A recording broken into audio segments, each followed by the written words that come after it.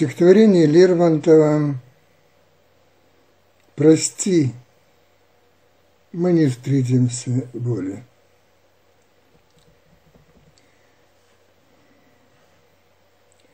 Прости, мы не встретимся более, друг другу руки не пожмем. Прости, твое сердце на воле, но счастье не сыщет в другом. Я знаю, с порывом страдания опять затрепещет оно – когда ты услышишь название того, кто погиб так давно. Есть звуки, значение ничтожно. И презренно гордой толпой, но их позабыть невозможно. Как жизнь, они слиты с душой. как в гробе зарыто былое. На дне этих звуков святых и в мире поймут их лишь двое. И двое лишь вздрогнут от них. Мгновение вместе мы были – но вечность – ничто перед ним. Все чувства мы вдруг истощили, сожгли поцелуем одним. Прости, не жалей безрассудно, о краткой любви не жалей. Расстаться казалось нам трудно, но встретиться было труднее.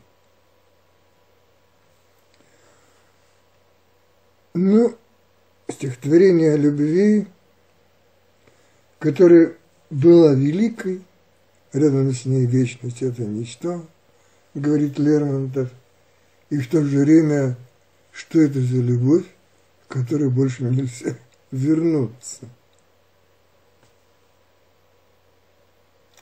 Я бы сказал, что это любовь несостоявшаяся, но Лермонтов говорит, это была великая любовь. Рядом с ней вечность – ничто. И вот тут вспоминается Маяковский, который говорит очень точно. Он спрашивает, какая будет любовь, большая или маленькая? То есть и то, и то, все любовь.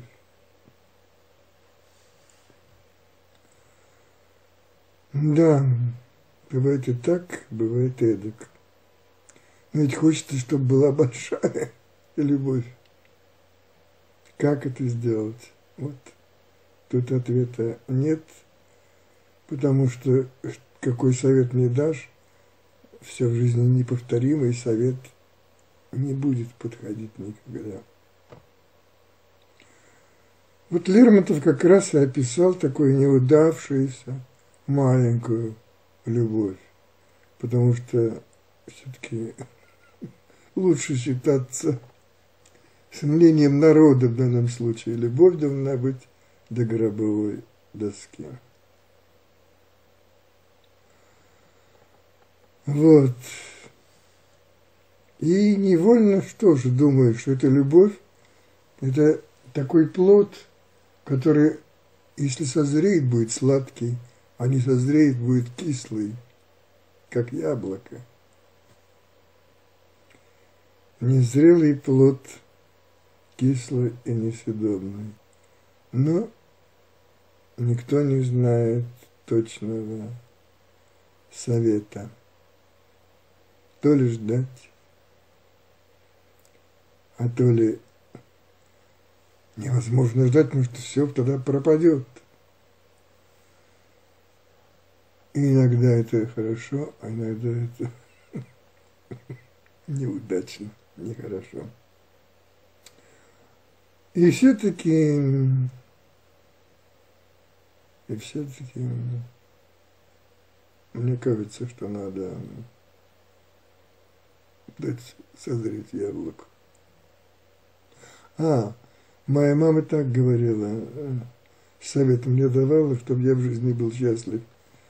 Никогда не приближайся к женщине. Ну, она сказала, грубее не ложись в постель никогда не приближайся к женщине близко, если в этом нет необходимости. То есть, если уже по-другому никак нельзя, вот тогда на это можно соглашаться.